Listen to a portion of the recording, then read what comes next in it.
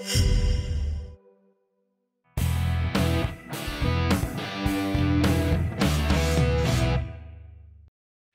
digital model is getting us where we have our data into a digital format in a CAD file, but by itself, that's disconnected. Digital thread, our terminology, this is most important, it's about traceability.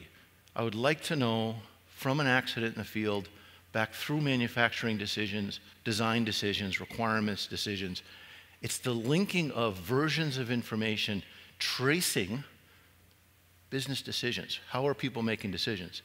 There, there are some vendors, when they talk about digital thread, are recommending it's the, uh, I have a CAD file, and I take my CAD file and I, I hand it to the next group, and that group moves the CAD file to the next group.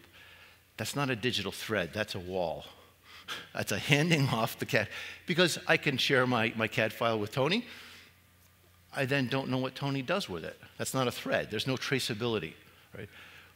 When the other vendors and the consultants come and they talk to you about digital thread, focus on traceability. I need to be able to link all the way forward, and then I don't know what changes Tony's made to that CAD file. I need to be able to trace backwards.